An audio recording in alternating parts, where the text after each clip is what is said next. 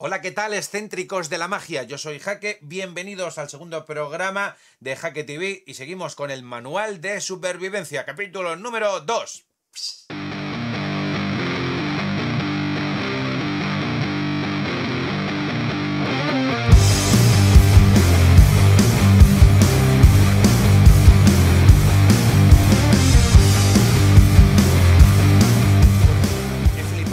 Primer programa, ya me habéis cocido a preguntas. Y además hemos subido en seguidores, ya somos 201. 201. A ver, yo tenía previsto una secuencia de, de programas, pues ahora venía el de eh, la actitud para el aprendizaje, pues en el programa 1 os habéis cargado ya la secuencia.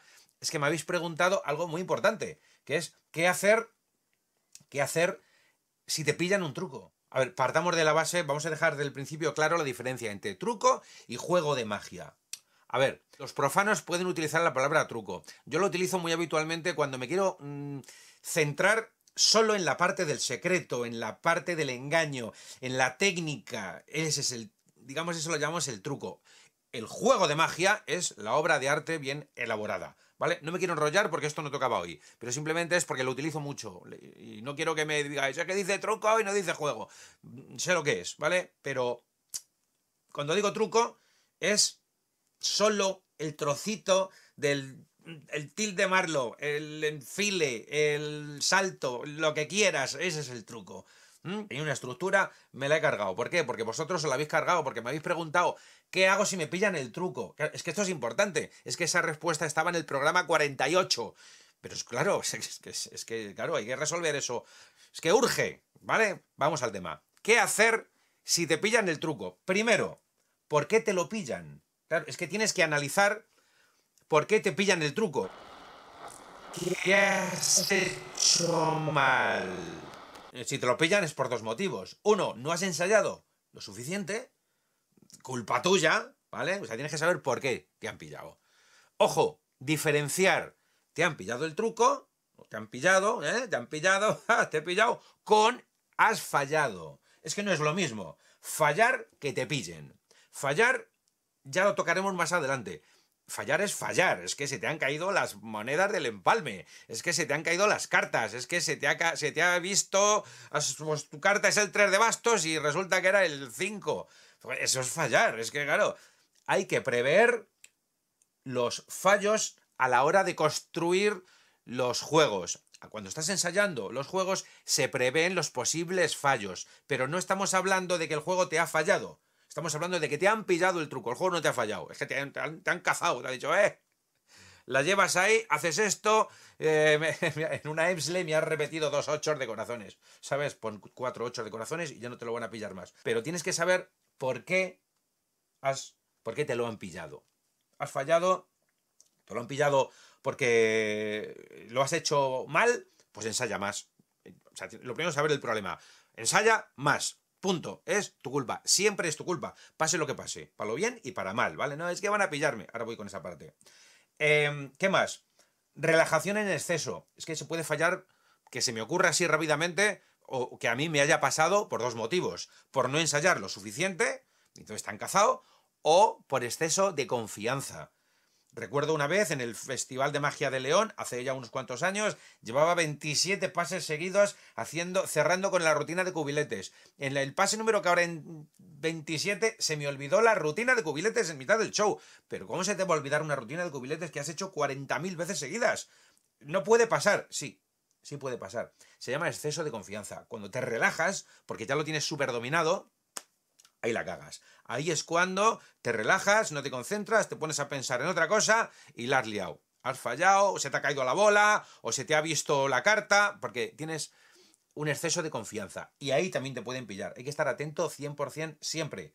Todos los pases. Tienes que saber todos los ángulos que te rodean. O sea, tienes que visualizar. Imagínate que tienes una...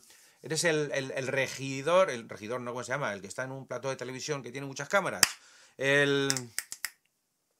¿Cómo se llama? Este que tienes, que es el, realizador, ¿vale? Y tienes el plano frontal, que es este, y un plano cenital que se ve desde arriba, y un plano de derecha, porque tú tienes que saber lo que está viendo todo el mundo, todos los ángulos, el que ve de frente, el que ve de lateral, los que tienes detrás de pie, pues estás en una mesa haciendo magia en una boda, por ejemplo, y están todos los cubateros de pie aquí mirando a ver si te ven aquí, te pillan el regazo, te pillan lo que sea por detrás. Porque claro, ellos piensan que por detrás se pilla más. Claro, la gente tiene también su maldad, que es natural, ¿sabes? Van allá al pille, al pille. ¿Vale? Pues tú tienes que saber el ángulo de este, que ve, pues este ve calva, y ve manos, y ve no sé qué. Pues ya sabes que hay cosas que puedes hacer y cosas que no. Claro, te he pillado, guacho. Es que, es que, es que mira qué ángulo. Tú eres responsable de los ángulos y eres responsable de lo que te puedan ver. Vale. Eh, ¿Has ensayado lo suficiente? Perfecto. ¿Estás controlando los ángulos y estás atento y estás concentrado? Sí, no te puede fallar. ¿Qué te va a fallar? Van es que van a pillarme es que van a pillarme. Es que, es, que lo he escuchado muchas veces. Es que, van, sobre todo al principio, ¿vale? Cuando estamos empezando en esto, es que van a pillarme. Vamos a ver. Es muy importante la actitud inicial que tengamos que no sea una actitud de reto. Si tú tienes una actitud retadora, de venga, a ver si me coges, ¿eh? ¿Dónde está la bolita? ¿Dónde está la bolita? ¿Eh? Cojo la carta, viene, y ahora mira, a que no ves cómo sube, a que no ves a que no me la pillas, a que no a que, a que si estás con el reto, porque le estás retando con la actitud, tampoco tienes que estar jugando a los trileros continuamente. Simplemente tu propia actitud a veces es la de, y la pongo aquí, y viene, y sube, y mira lo que hago, y mira lo que hago, y mira lo que hago. Vas retando. Si le retas, ellos sienten el reto y por lo tanto reaccionan pues como tienen que reaccionar, como retados, y van al pille. Vale, importante. Si no les ofreces nada importante, o sea, si no les cuentas nada interesante, a ver, la gente no quiere pillar el truco. La gente no te quiere pillar. Una parte sí. A ver, partamos de la base. El cerebro del espectador tiene dos partes. El hemisferio izquierdo, que se encarga de la capacidad analítica, la parte lógica, te quieren pillar el truco, ¿vale? Están ahí al pille, te voy a pillar, te voy a pillar. Y el lado, eh, y el lado derecho del espectador, que es el de la, fantasía, la imaginación, las emociones, o es al revés, ya no me acuerdo, da igual. Un lado es, es la parte de la lógica. Van a pillarlo, porque lo necesitan, ¿vale? Necesitan saber cómo se hace. La otra parte, la fantasía, las emociones, divertirse, el lado, el lado del chunda, esos no quieren pillar el truco, se quieren divertir. ¿Qué pasa? Que si no le estás ofreciendo nada entretenido, nada emocionante, si no les cuentas nada que les entretenga y que les guste, es que no les queda otra cosa que ir a pillar el, truco, ¿sabes? Te voy a pillar, como si fuese un puzzle, a resolver el acertijo, ¿vale? O sea, tienes esto aquí, ahora aparece allí, ahora no sé qué. Es que no hay otra. Si tú les cuentas una historia interesante, no van a pillar el truco, porque el caballo blanco, ¿vale? El caballo blanco del, cerebro, tenéis que leer la vía mágica de, de Juan Tamariz, ¿vale? Con la teoría de las pistas falsas y todo esto, para que entendáis cuando os hable de caballo negro y de caballo blanco, para que sepáis por dónde van los tiros si les cuentas algo interesante, ellos no, van a querer pillar el truco. ¿Y cómo consigo no tener la actitud de reto? Piensa que tú estás para servirles. La magia mola. Tú no eres el prota. El prota es la magia. La magia es guay. Y tú eres un, un el hacedor de que esto suceda. Eres como el que hace la peli, el que hace el milagro, el que pone a funcionar todos los muñecos sobre la mesa y hace la tarta de... Tú haces la tortilla de patata para que todo el mundo se la coma.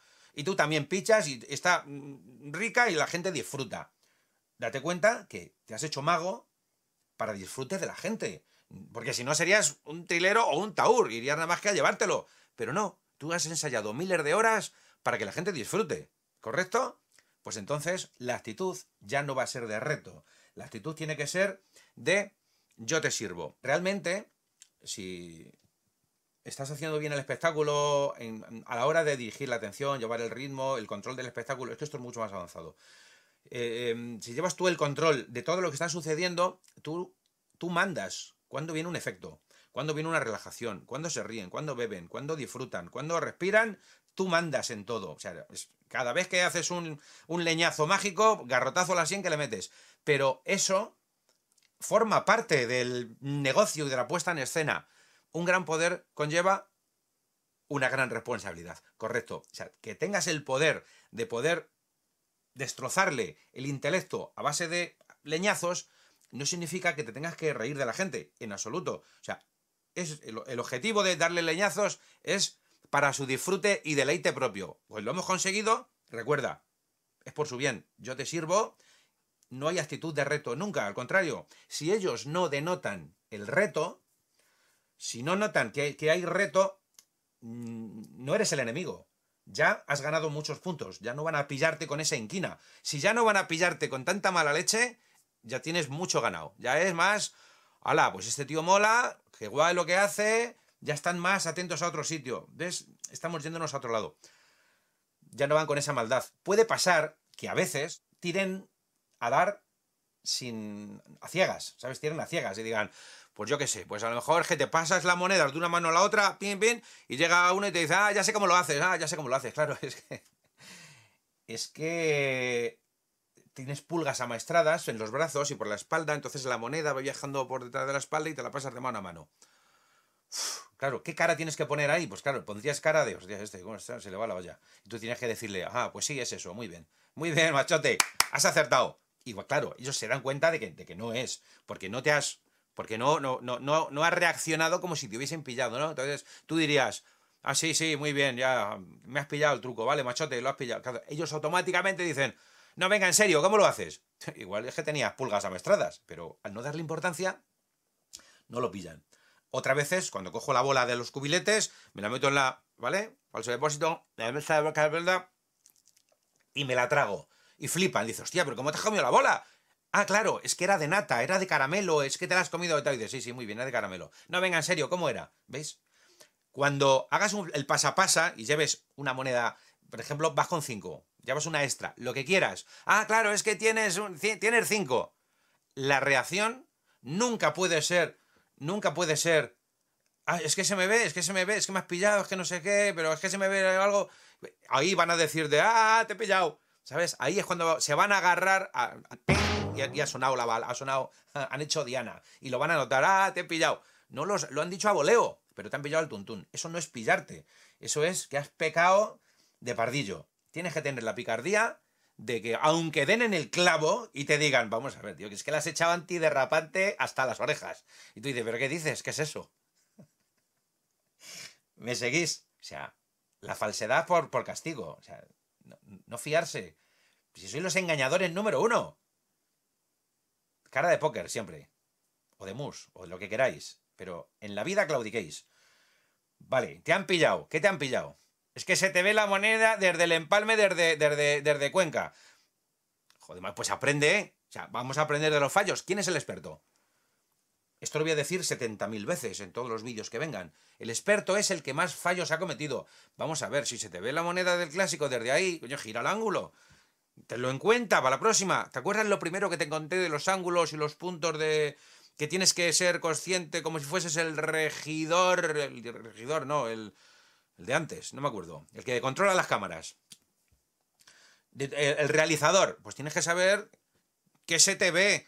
Vas a hacer un tilde marlo, coño, arrímate, ¿sabes? No te pongas aquí, ver todos, ven alto lo hago, ¿vale? O sea, si te pillan por torpe, pues muy mal si te pillan porque no has ensayado lo suficiente, aprende porque has fallado y no falles dos veces. Así que te sirva para aprender. Venga, voy a terminar que se me va a hacer el vídeo ya súper largo. Ya está, tampoco te rayes, no pasa nada. O sea, ¿qué pasa si te pillan algo concreto? Yo qué sé, estás en un matriz o en un movimiento y hay algo puntual. A ver, lo van a pillar este y este. Todos estos no. A veces el que lo pilla se cree que lo pilla, pero, pero no sabe realmente es que depende de cómo sea el fallo que hayas tenido. Puede ser muy pequeño. Si luego tienes 14 leñazos buenos, ¿vale? Y vienen 14 efectos súper potentes y súper, ¿sabes? Emocionantes y a la gente le gusta, te van a perdonar. Es que te he visto una cosa. Joder, he hecho 200, tío. ¿qué más? Vamos a ver, un poco de misericordia. Joder, que, no está grabado. Que no es un programa de estos de la tele, que está, venga, la raca, raca 70 veces, que es en directo, ¿vale? Ya está, no pasa nada. Tú sigue, engancha con la siguiente. Se te olvida la secuencia, sigue con la siguiente, por, exceso de confianza, pues sigue hasta que enganches con lo que venga ahora. Resuelve, improvisa. Os recomiendo que tengáis, que estudiéis técnica. Con cartas, con monedas, con cubiletes, con lo que manejéis. Técnica para aburrir. La técnica os va a resolver un montón de problemas, de cosas que os puedan pasar. La técnica es, son recursos que tienes a la hora de resolver problemas. Y no mucho más. O sea, tampoco es tan importante. Te han pillado el fallo, te han pillado este y este, pero todos estos no. Ya está. pues sabes que para la próxima, pues que no te pillen. Y no hay mucho más. Ya está. ¿Qué más? A ver, no vas a quedarte sin dormir una semana por eso. O sea, no es tan importante. ¿Queréis que os diga lo que es importante? O sea, importante es tener leche en la nevera para tus hijos. Eh, tener para pagar la calefacción, los libros del cole. Y cosas básicas. Pues poder comprar las aspirinas cuando les duele la cabeza a los chavales. Eso es importante. Que te pillen el truco es irrelevante y circunstancial. Porque luego vas a hacer 70 cosas bien hechas. Y ya está. Acuérdate, el reto. No hay reto